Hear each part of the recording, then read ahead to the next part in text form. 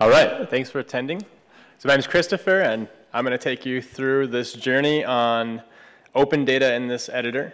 We're going to focus not so much on the capabilities and technology as much as the ability to share data and bring in multiple sources to improve OpenStreetMap.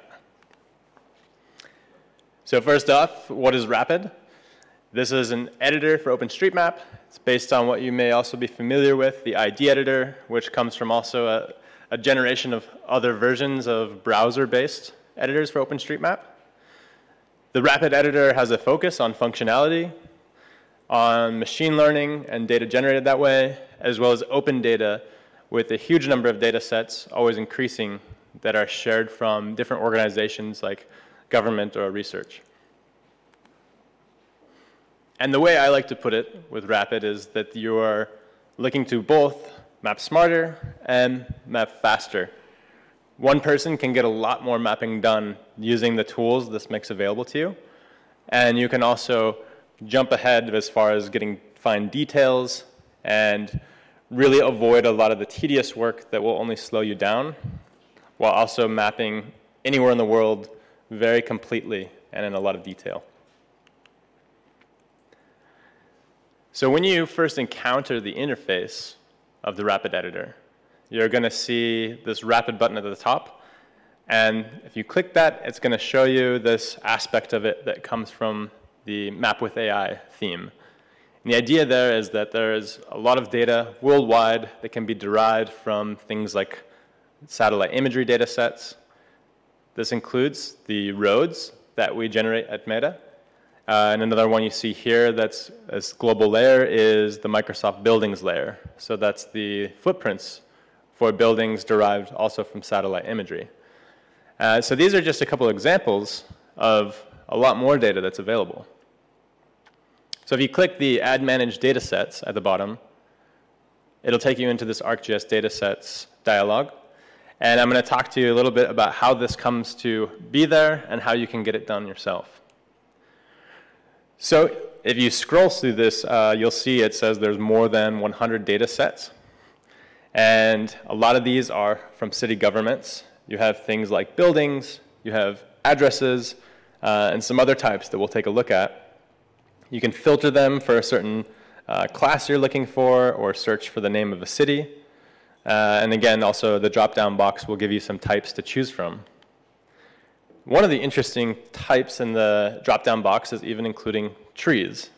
So Esri has crowdsourced these trees uh, from GIS users who went out and surveyed their locations. And it's quite a large data set. Uh, I think there's something like 120,000 as of today, and again, always increasing. Uh, these are points on the map covering uh, a lot in the US and I think a few other places in the world. So if you launch those, you can go to a, a place where they exist. Here's Round Rock, Texas, just outside of Austin. And sure enough, the map is covered in points representing the locations of trees that the city went out and surveyed. And in OpenStreetMap, as a user, you can choose to use the feature. So that would mean validating a specific one, creating an OSM point out of it, or if it looks incorrect, ignore it. Now, we'll talk a little more later about how you would go about actually validating that, since in this view, you're at the bird's eye uh, perspective, you're looking at satellite, you may not really be sure what you're seeing, but some trees are more obvious than others. One of the other layers here is the open buildings layer from Google Research. Uh, this one is available for all of Africa inside of Rapid, and the license has been opened up specially for OpenStreetMap. So that's one option to map buildings in places where there's not a lot of other open data. But even better, globally, is the Microsoft Building data set. So you'll see in this map, it covers also a huge amount of Africa, uh, as well as the rest of the world. The United States and Canada are not on there because that's also a separate Microsoft data set that in the uh, rapid editor is just one, so it's all merged in. Uh, and we did cut off New Zealand from the map there, but I blame Microsoft for this. So you have the GitHub repository link there on the bottom that you can go visit and learn more about how it's generated and how it's licensed, and you can get the raw data there. But we also tile it for you into Rapid. You can find a whole list of the Esri provided data sets in the OSM wiki as well. Uh, so you can see here to look up Esri slash ArcGIS datasets, uh, and also the link is here to that page. And this will list out a very exhaustive, uh, long uh, group of bullet points that will tell you what's in there exactly. And that should keep getting updated as new ones come in. There's also a map. So here's what it looks like on Esri's website and inside of this wiki entry as far as the US. So quite a wide spread across the US, not just concentrated in a few places. And the really nice thing about this open data that comes in is that Esri helps curate it. So much of this comes from people who maybe never heard of OpenStreetMap. They're just encountering the idea of open data for the first time, but they're longtime GIS users. And Esri has a huge resource of those types of users that, you know, as people here at a FOSS4G conference, we may feel that we're in a smaller slice of that world, but enabling these people to join the open data community is a really special opportunity here. So Esri will assemble that data from their ArcGIS user community. Anyone who has uh, a contract or a user account with Esri is able to share that way. And Esri will do a lot of the heavy lifting for them on making sure that the license compatibility is there. They will then also process that data. We'll take a little closer look at how here in, in the bottom half of the slide. And then Esri will publish that data into ArcGIS Online, which means it also shows up in that rapid editor as an open data set. So some of the more technical aspects of, uh, of making sure that data is cleaned and prepared is really just handling the fields. So normalizing the field names is a big deal. You may have field names in different languages depending on the country. Some may uh, call something business underscore name. Others may call it uh, registered underscore name. So things like that need to be merged into just name and address fields uh, so it's all consistent across data sets. And we also want to make sure that those are matching OSM conventions. So Esri's handling that ahead of time so that the user community is not left doing cleanup. Uh, and finally, you can see an example here. So street may be the name of a column in an ArcGIS, uh, let's say CSV file. And it may have things like west abbreviated. So the normalization is going to bring that over to the OpenStreetMap tag name and go ahead and make sure we expand the, the full name of that street as well. And you can do this yourself. So again, a quick review, just in a diagram here, because that's a lot better than text, I think, for most of us. So we're going to map our way through this journey. Uh, you'll start with your data. It gets prepped for OSM, again, handled usually in the Esri domain. And then it becomes an ArcGIS data set and emerges out into Rapid, where it's available for OpenStreetMap. So one way that this happens, if you want to go ahead and give this a try, uh, you can share your data via Esri's Community Maps program. So there's a link at the bottom here is where you can join that. And this is going to help you get the CC uh, BY 4.0 open data license. You'll see dialogues like this. You'll indicate where you are in the world, and you'll also indicate what kind of location you're at. So you can see here that you can even upload a shapefile as your boundary uh, in a very Esri way. Another way that you can do it is share via an ArcGIS hub site. So this is sort of a repository for open data. So if you have an ArcGIS hub account, these steps will get you there. Um, basically, you're just going to kind of create a repo, give it a name, upload the data there, select that you want it to be open data, and the last step is to email Esri. So they have an email address especially for that, where then they get a notification to start handling the integration and license vetting.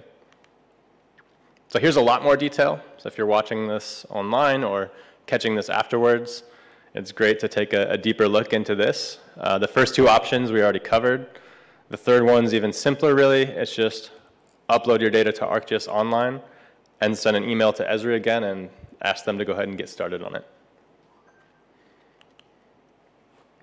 So jumping back to the editor process. Here we are again in Round Rock, Texas with all these trees. And before we add them to the map, we want to know that they really exist and that this open data is good data. So a nice way to do that is use another form of open data, and that's Mapillary. The street level imagery contributed by the community. That includes casual users, it includes corporations, it includes small contractors, city governments, nonprofits and NGOs. All of these providers are rallying around Mapillary, uploading imagery to it, it's geotagged, and allows you to see a date of the imagery, the location of it, and the context of what you're looking at on the map. So for trees, it's a really perfect way to go about it, but also for many other types of data. Say uh, maybe the roads themselves, the buildings, points of interest. In this particular case, we can launch one of these side-facing images. So it looks like the, the camera is probably on top of a car facing, as you can see on the map, left, right, and forward. So this side image, I went ahead and used the scroll wheel to zoom in on the tree. And luckily I could also see the shadow on the map of it. So I circled this palm up there. Uh, there's more of a leafy tree that's right in front of the camera to the right of where I zoomed. But it's a very clear image that, okay, I have an image here. I can see it's very close to that curb that separates the kind of dirt surface from the parking lot. Matches what I see in the satellite. So I can go ahead and use that feature. It's going to convert it to a point in OpenStreetMap. And I've validated it. I can move on to the rest. So a great way to really make sure that you know what you're adding, but with pre-suggested points. So on the Mapillary side, the computer vision is a really powerful way of providing both this kind of MapWithAI theme that's data derived using machine learning, uh, that also becomes a form of open data once again. So the imagery itself is user contributed, as we covered. And what's derived from the images is kind of the magic of Mapillary. Uh, you can see here on the left side that we have these segmentations around different items. So things like cars are removed from the scene. It's a dynamic object. We don't really want to know where a car is on the map, but we may want to know what else is around it without the car blocking or interfering it. Using multiple images, so the green you see here, a, a wide density of imagery, that scene is actually reconstructed in 3D. So it means we can remove things like cars, but start to assemble a version of reality showing us what's right there. So we'll find a trash bin, we'll find traffic lights, stop signs, buildings, and street lights, all kinds of different pieces of infrastructure that we can also bring into OpenStreetMap. So in this case, back in Round Rock, Texas, we're taking a look at a bench. It's in blue. Mapillary tells us that blue bench is on the street corner. And checking the image, we can see, okay, it's about maybe two meters off, three, five, have to guess. Uh, but it looks like it's in reality in between these two gas pumps underneath the roof of that awning. So with this in mind, we're able to then uh, create a point for that bench, and we can drag it under to where it's supposed to be, and that way we've just used the Mapillary layer as a guide. So it's, especially with smaller items, not going to be perfect, but it really helps us get started on seeing what's available. Uh, the alternative being you can take the imagery and sort of crawl down the street with it, check what you see, and manually add it to the map. That's also a great way to add businesses and POIs to the map that will be harder to detect with uh, computer vision. There's no logo detection or text reading going on, uh, but you can really quickly also map the main street of any town in the world just checking the Mapillary imagery. There's also a nice little feature that suggests the best imagery available. So here I am looking at an area in Switzerland, and you can see this red check, making sure that we know it's certified uh, next to the swisstopo imagery.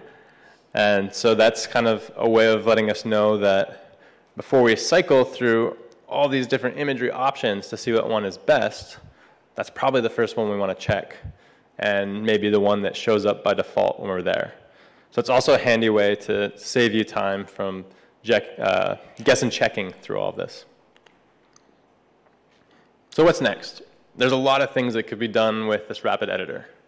Uh, you know, one of the things on this data side that we want to do is make sure more open data comes into Rapid.